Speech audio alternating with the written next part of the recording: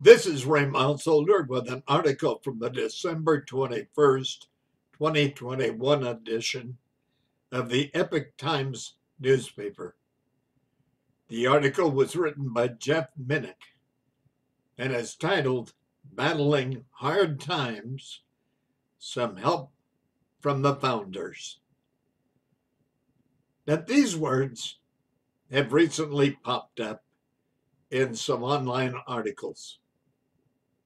Hard times make strong men. Strong men make good times.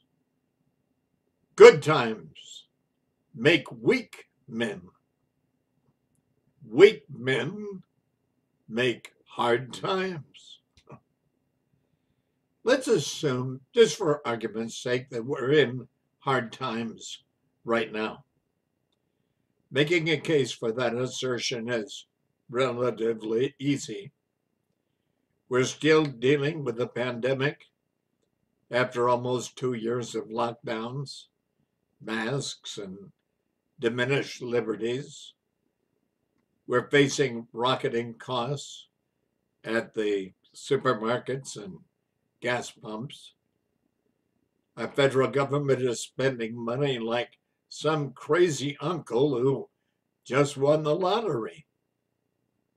And our traditional culture appears besieged everywhere.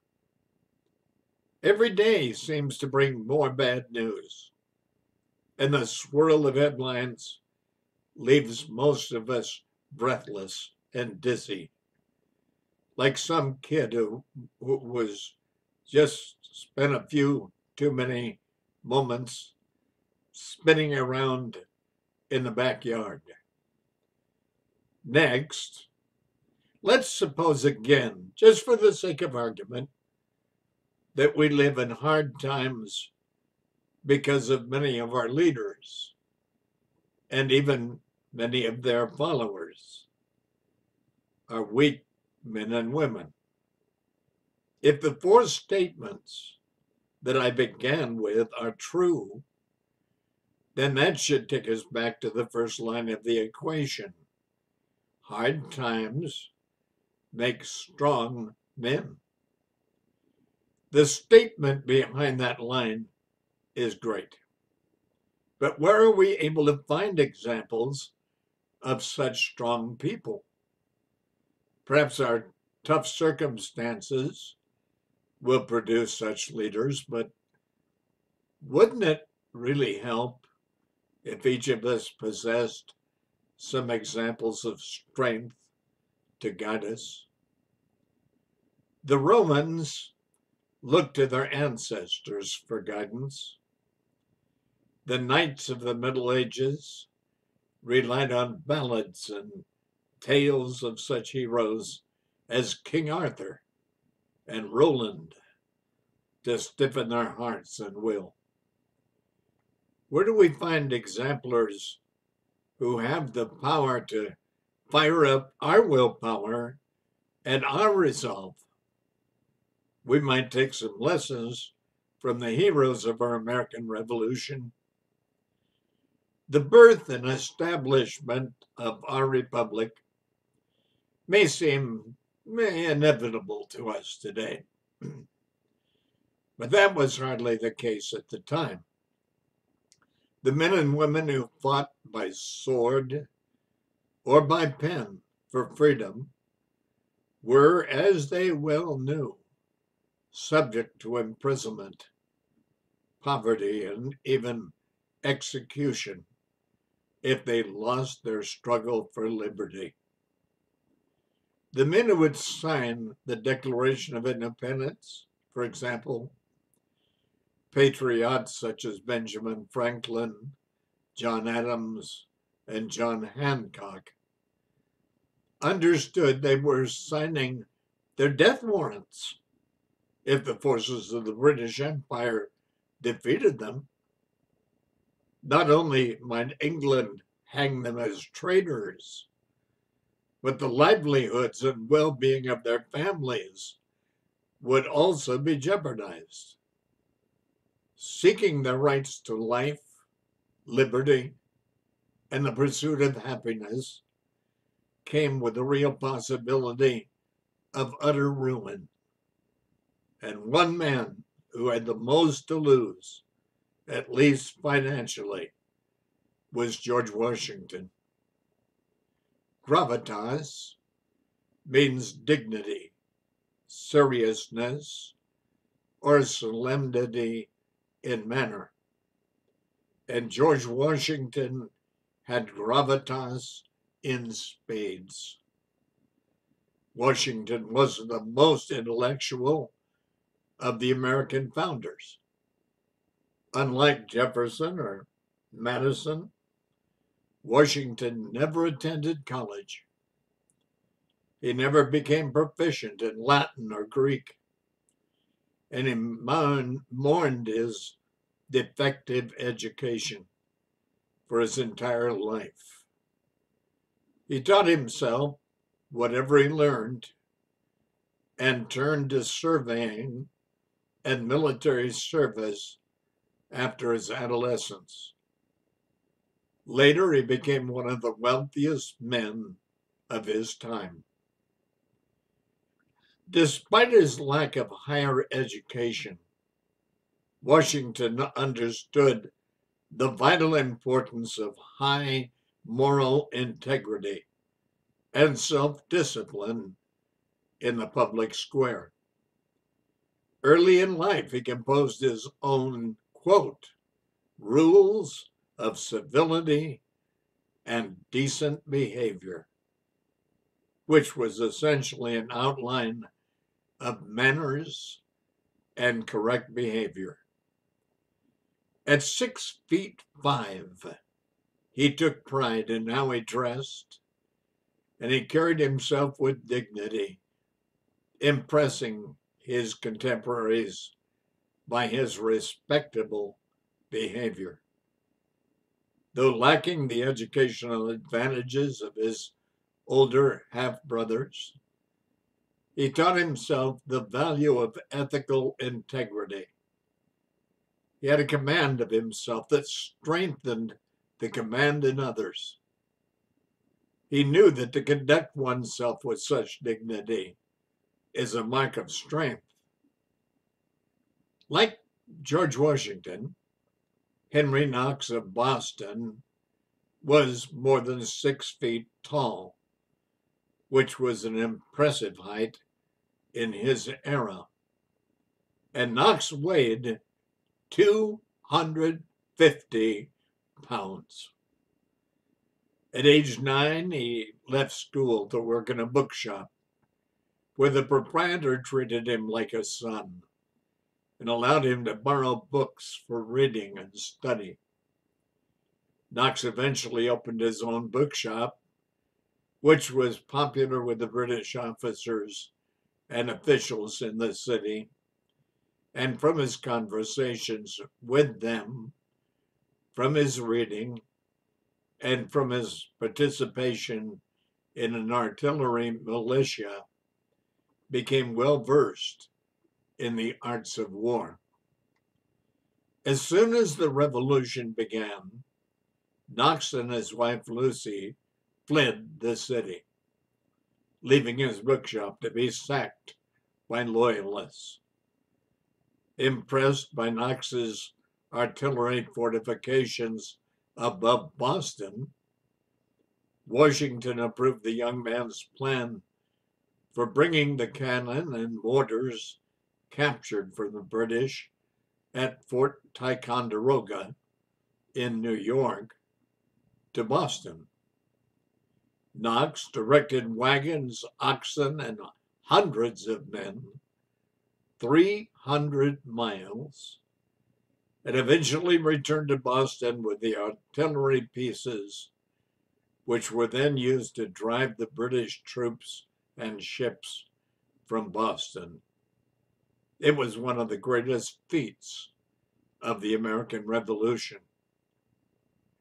Lessons learned from Henry Knox were vision and determination, keys for human strength. Dr. Joseph Warren, the general who died as a foot soldier at Bunker Hill, Nathan Hale, who bravely faced his ex- execution as a spy, the wily swamp fox Francis Marion, Mad Anthony Wayne, these and so many others were strong men in hard times. They bled and died and fought and won their freedom. Here we take as one example neither a warrior nor a politician, but a mother and a wife, Abigail Adams, wife of John Adams, a founding father who later became the second president of the United States.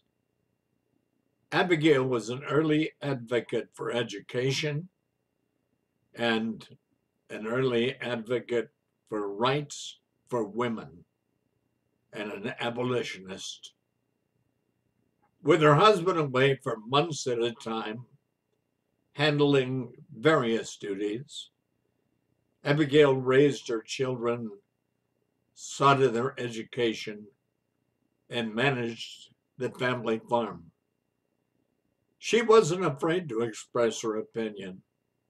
Writing to John when he was attending the First Continental Congress, telling him to remember the ladies and bring them in to the discussions, and corresponding with Thomas Jefferson. To the end of John Adams' life, Abigail remained his closest advisor. Abigail Adams is emblematic of all the women who were forced to manage farms, businesses, and families while their husbands and fathers were away fighting the, the war.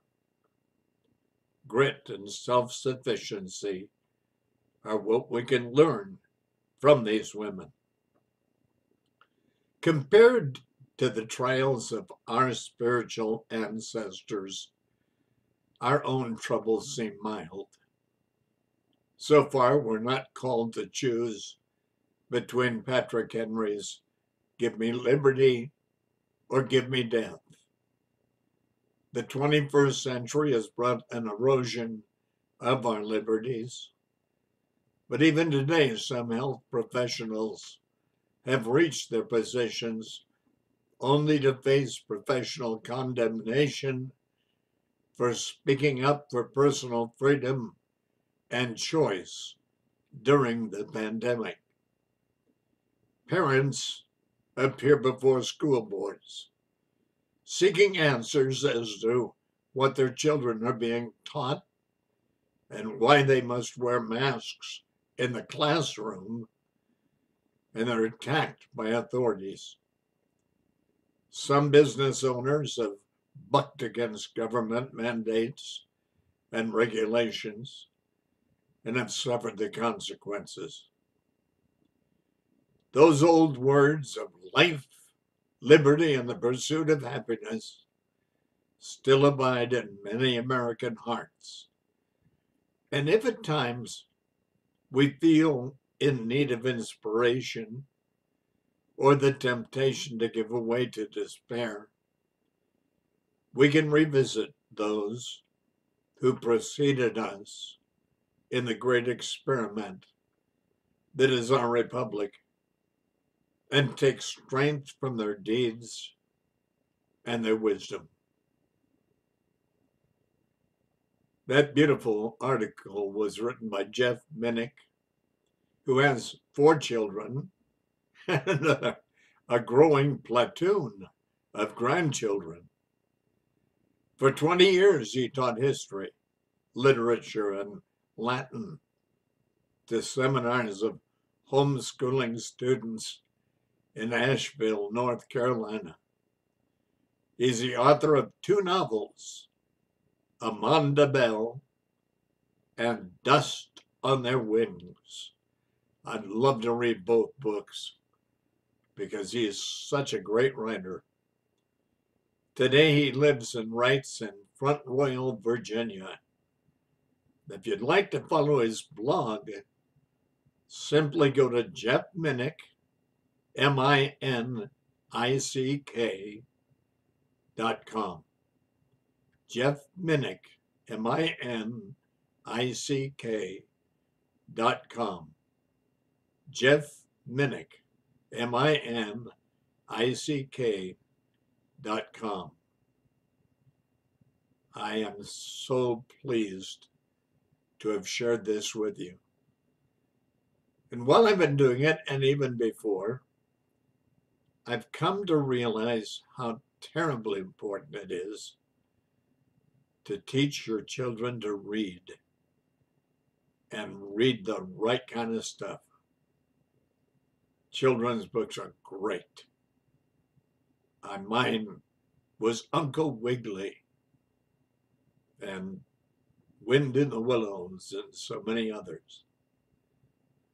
But yours may be in this generation something else is cleverly written and wonderful to share. Read to them at first and then get them to start reading.